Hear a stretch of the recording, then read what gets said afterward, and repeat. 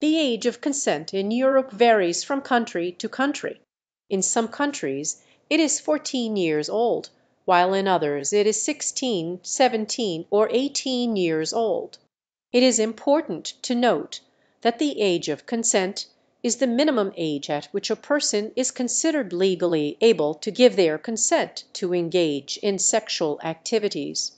However, this does not necessarily mean that all sexual activities are appropriate or safe at that age.